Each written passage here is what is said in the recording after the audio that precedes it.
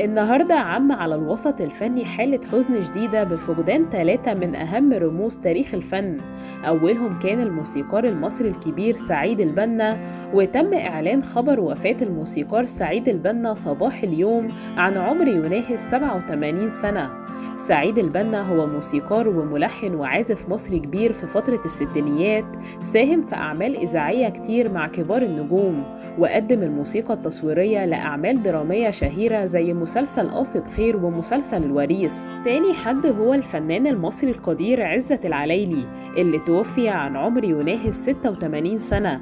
عزة العلايلي توفي صباح اليوم وتم دفن الجثمان بعد صلاة العصر واللي أعلن خبر وفاته هو ابنه الدكتور محمود العلايلي لما نشر بوست على حسابه على الفيسبوك وكتب توفي صباح اليوم والدي الفنان عزة العلايلي تقام صلاة الجنازة بعد صلاة العصر بجامع المروة بجوار مستشفى دريم لاند وبدأ نجوم الوسط الفني ينشروا نعي على حساباتهم على ال social media للفنان الراحل ومن ضمنهم الفنان محمد محمود عبد العزيز اللي كتب تشرفت بالتعامل مع حضرتك عن قرب ومعرفة حضرتك بشكل شخصي وتشرفت إن في يوم من الأيام دار بينا أحاديث كتيرة عن الحياة واشتغلنا مع بعض وسعدت باكتسابي خبرات حياتية وعملية مع حضرتك بشكل مباشر واستفدت من نصايح حضرتك كتير جدا على المستوى الإنساني والديني والعملي.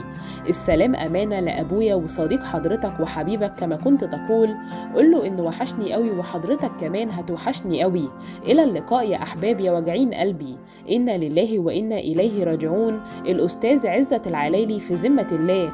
أسألكم الفاتحة والدعاء لأبويا وللأستاذ عزة العلايلي ولكل من رحلوا عنا. أما بالنسبة لتالت حد فوجئنا بوفاته النهاردة هو المنتج الأردني الشهير عدنان العواملة اللي توفي عن عمر يناهز 73 سنة.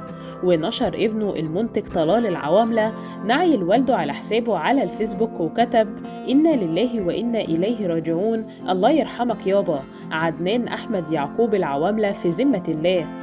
رحمهم الله جميعا وألهم أهلهم الصبر والسلوان وما تنسوش لايك للفيديو وتشتركوا في القناة ليصلكم كل جديد وإلى اللقاء في فيديو آخر إن شاء الله.